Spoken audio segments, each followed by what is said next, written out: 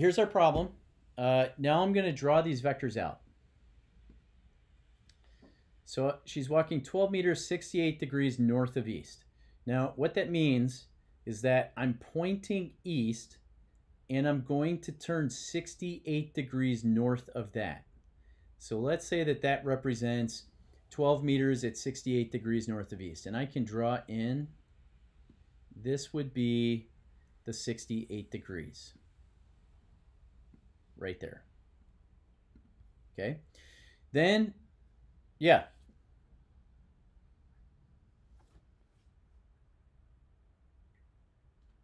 Okay, so we, you know, we talked about this a little bit on Friday. So you're at a little bit of a disadvantage, Sebastian. But um, we're with these cardinal directions, and this is going to be a little bit tough at first. Uh, there's if you look at that doc, there's a video that Mr. Hammond made actually that goes over this too. But if you if you look at these directions right here, it says north of east. So what that means is that you're pointing east. This will be east, north, south, and west. And I guarantee you that there's a few people that are confused about this. So north of east means that I'm pointing east and I'm turning north of that direction. So once again, north of east means I'm pointing east, turning north of that direction. So then the 68 degrees goes in between the east and the north. All right. Well, so if it just says northeast, we don't know exactly if the 68 degrees goes here or here. And northeast to me means 45 degrees in between north and east. So we want we want exact like we want it to be exact. If you were uh, you know, if, let's say if you were in the army in the desert and you were trying to find a spot and I just told you northeast instead of 68 degrees north of east, you may not end up anywhere near where you're supposed to. So you may not end up near the water or supply drop off or whatever it is, if that makes sense. So we're going to be like really precise. Okay. Now the second vector is, so that's the first one, 12 meters. 12 meters at 68 degrees north of east. The next one, 16 meters due east. I forgot the M, but it should be there. So 16 meters due east. So for that one, I'm going to start, remember, at the end, and I'll go 16. Let's say that's 16 meters. So due east means I'm going exactly that direction. Okay, then I'm walking tw 22 meters, 72 degrees east of south. So south points straight down. And east of that means that I'm turning towards the east direction. So let me just draw that one right here, and then we'll place it here, okay? So uh, I'm walking 22 meters, so it's got to be a little bit longer. And it's, I was pointing in the south direction, and then I walk 72 degrees east of that, or I turn 72 degrees east. Let's say that looks something like that. So this angle right there would be 72 degrees. Okay, that goes at the end of this. So, so far I've walked up, over, down. And then finally, that was that one. Then finally, I'm walking 18 meters at 77 degrees south of west. So that means I'm pointing west and I'm turning 77 degrees south of that. So I'm just going to draw it over here and then we'll put it we'll put it back in our spot there. So uh, 18 meters, I don't know, let's say it's like that. And it I was pointing west, but I had to turn 77 degrees south of that. So this angle here is going to be 77 degrees. So I would pick this up and I would put it here. So I walked this direction, then this direction, then this direction, then this direction. So my resultant, the one vector that could replace all those, I'll just do it with a dotted line here because it's easier, would be that. Okay, now that's going to be hard for me to find. I don't know that math. So what I'm going to do, and we're just going to take this, we're going to move it for now. So what I'm going to do is I'm going to take these vectors, and it might be easier if I change the color of them so we could see them. I don't know. Green, green's easy to see. So I'll make them all green. I'm going to take all of these vectors and I'm going to put them at the origin. Oops. Sorry. Still changing the color. Uh, so green and green. So I'm just going to move these vectors so that they all point from the origin. So for that one, it's 68 degrees. This one we said uh, 72 degrees east of south. So this right there, that would be 72 degrees.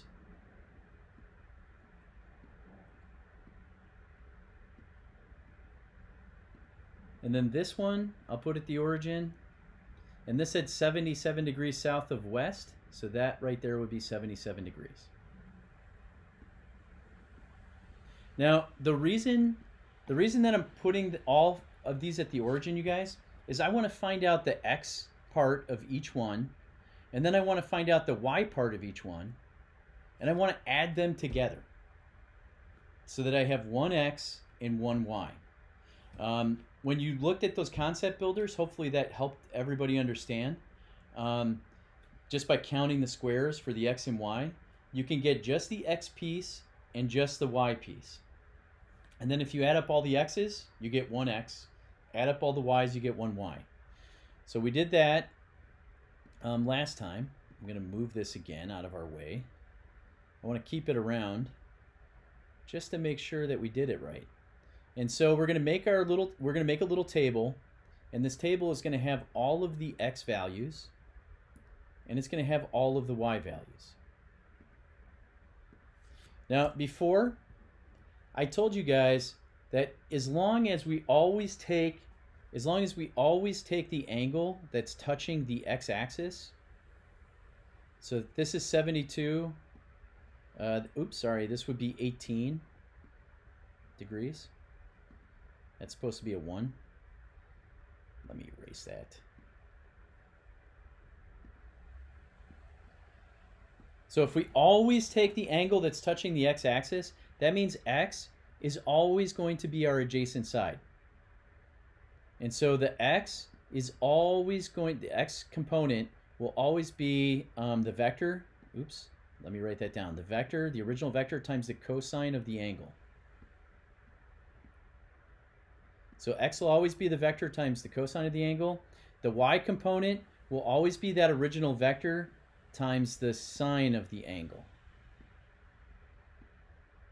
But in order for that to work, we always have to use the angle from the vector to where it touches the x-axis. That way x is always adjacent, y is always opposite. Cosine is adjacent, sine is opposite.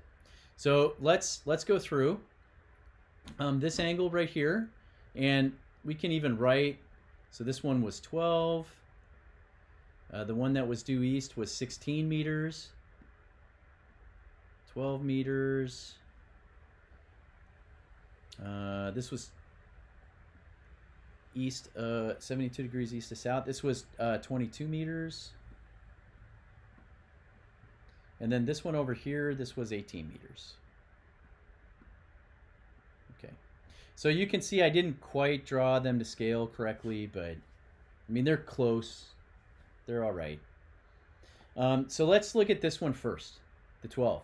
So what would the x component of this vector be? Well, it would be 12 times the cosine of 68. And then what would the y component of this vector be? That would be 12 times the sine of 68. And then let's look at this one. So this, the x component would be 16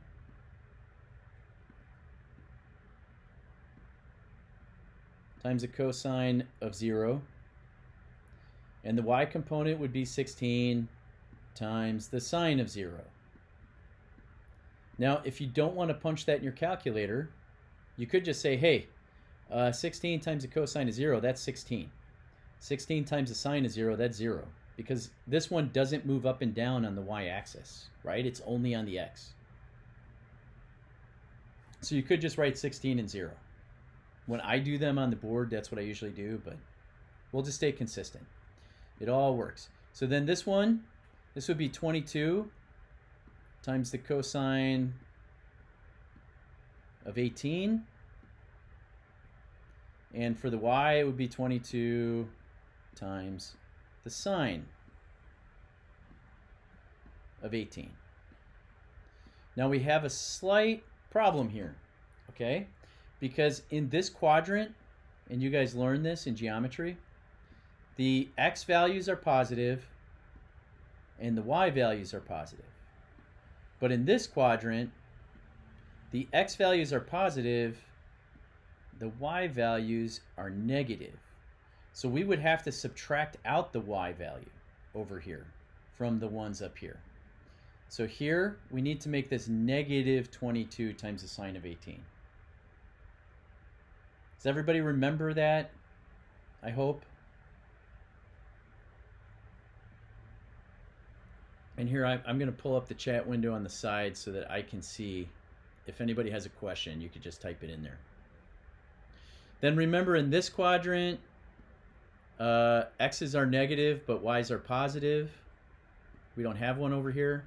And in this quadrant, x's are negative, y's are negative. So for this final one, um, the x is going to be negative 18 because x is negative times the cosine of 77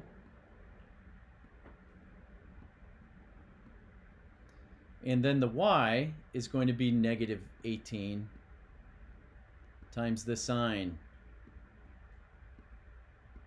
oops of 77 so this isn't hard math but it is tedious. I have to punch all these in my calculator get an answer and then add them all up so I add this one to this one to this one, and remember this one gets subtracted. So did anyone do all those in their calculator? Add, add, add, subtract. What would my final answer here be?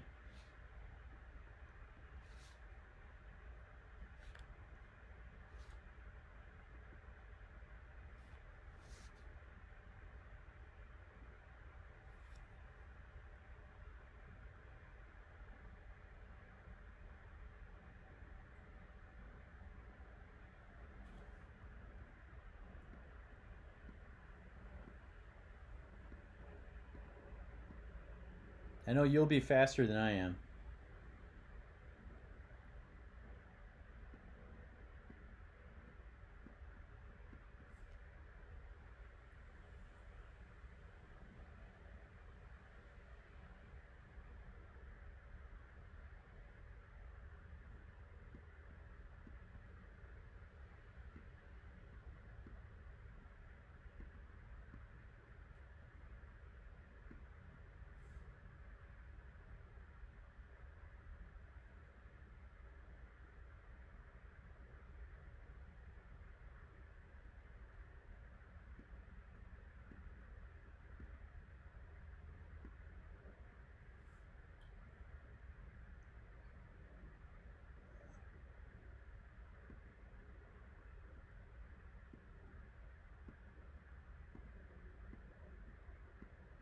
Did everyone get this, hopefully, for the X?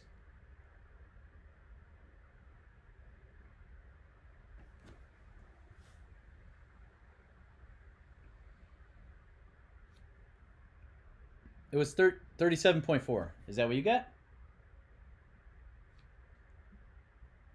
Oh, okay. So we're close. I'll change it to 37.5. We probably just rounded differently.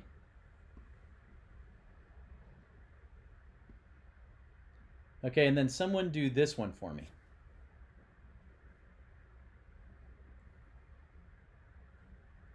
You got 1.6 for here? Okay. Okay.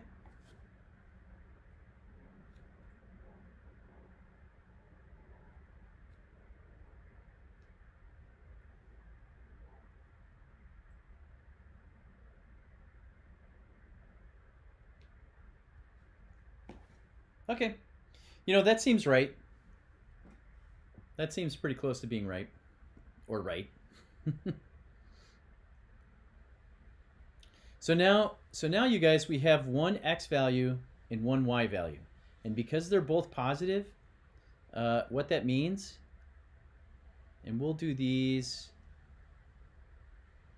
we'll do these in green.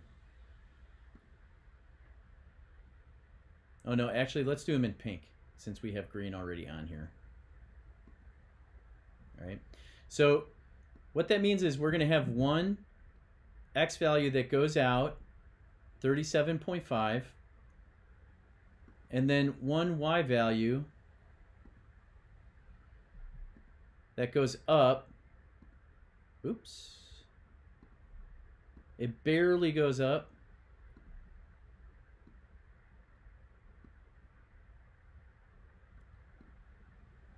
it's just going to go up one and a half like that and so when we draw out the resultant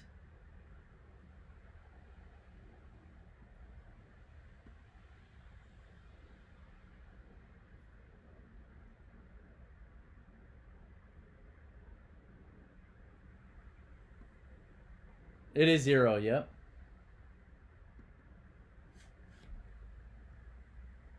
Oh, okay, all right. That actually matches our original prediction. So uh, that, it'll be negative 13.2. So that means it's going to go down. Here, I'll just draw it. So it'll go down 13.2. Oops, I thought I was going to make that pink. Okay. So it'll go down 13.2 and our resultant then, it's going it it'll go from the very beginning till the very end. All right? Now that's actually what we predicted when we put them all together. We predicted that it would go down into this quadrant, right? So that was our original prediction. Um, so that looks good. So this is 37.5. Here, and I'm going to make a new page All right. We have the x part is 37.5. The y part is pointing down at 13.2. I don't need to show the negative. The negative just shows direction. And so what that means is that the resultant vector is the hypotenuse right here. We can get that by doing um, a squared plus b squared equals c squared. So 37.5 squared plus 13.2 squared equals c squared.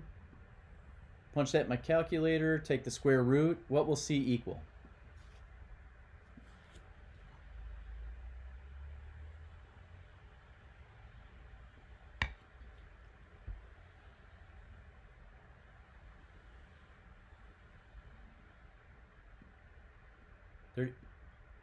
Sounds good to me. So 39.76.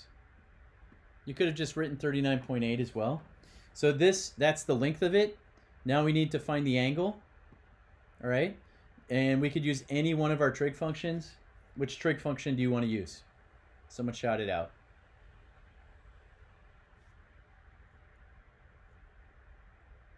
TOA? All right, we'll use tangent.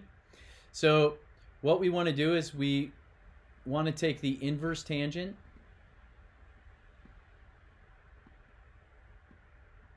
of the opposite side divided by the adjacent side, so 13.2 divided by 37.5. If I punch that in my calculator, it'll give me the angle, and the angle is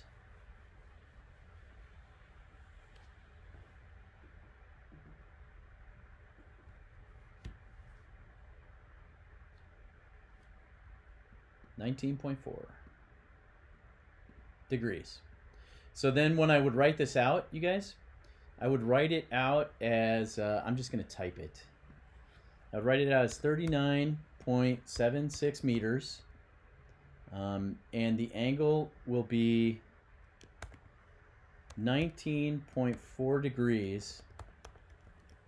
And because this, this is the angle right here, we were pointing east. We had to turn south of that. So I would say south of east. So 39.76 meters at 19.4 degrees south of east. So that, all of this work was for one problem. I'm sorry. So, yep.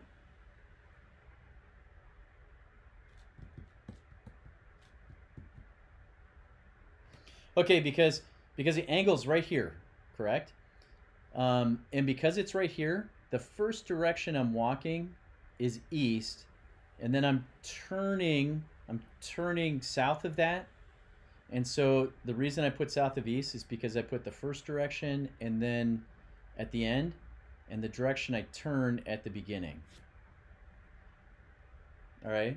Yeah, and Mr. and like I said, I uh, on that document I put a link to Mr. Hammond's video where he goes over this. So if you guys just you know watch Mr. Hammond too, uh, it might help because it's one more person explaining it. You could stop it and look at it, and it's pretty good.